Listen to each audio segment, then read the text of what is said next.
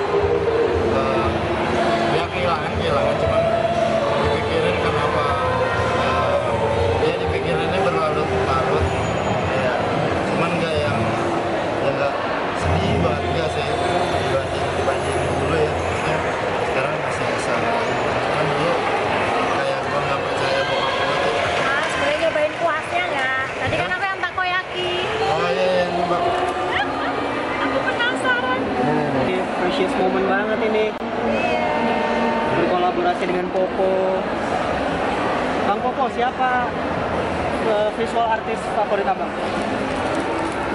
Banksy. Banksy.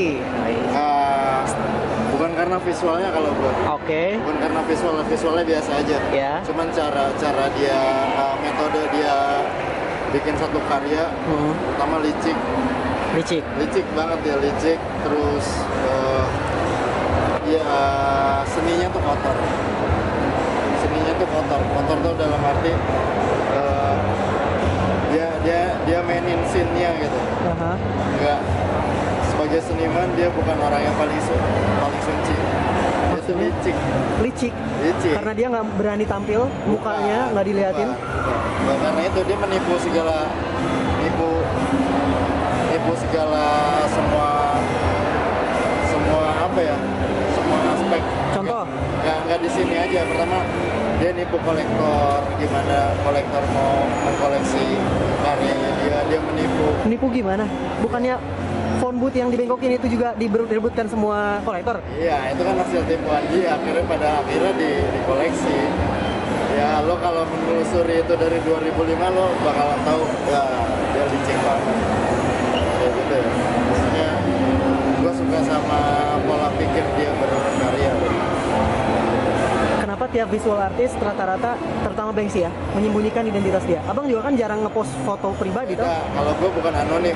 Aha, Kalau Banksy anonim. aha. Dia dia jelas-jelas anonim. Kalau gue nggak anonim, gue lebih yang eh, nggak nggak suka posting foto foto pribadi ya. Ya gue sadar gue nggak menarik mending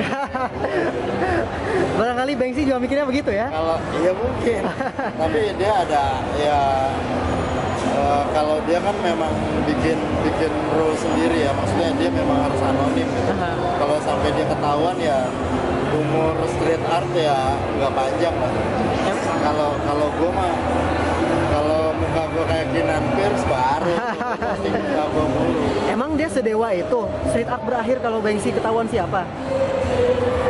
gue sih gue sih belum belum pernah nemuin so so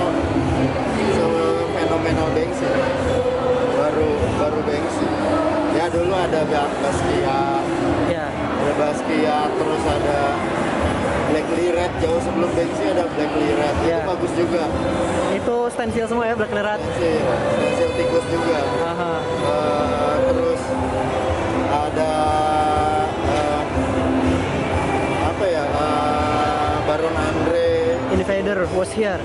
Aku Iya. nonton itu sih film dokumenter yang Exit Through the apa sih? Haha. Haha.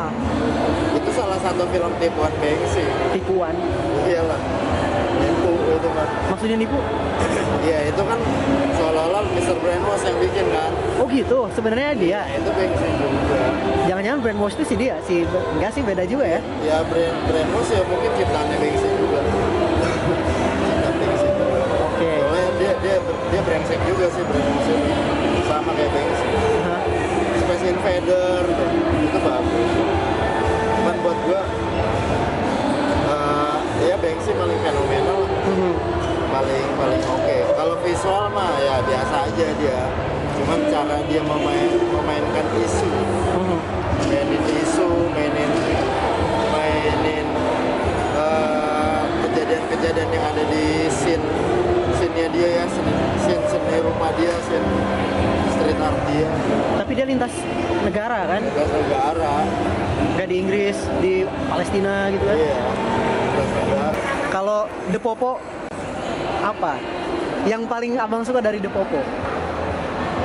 kalau gua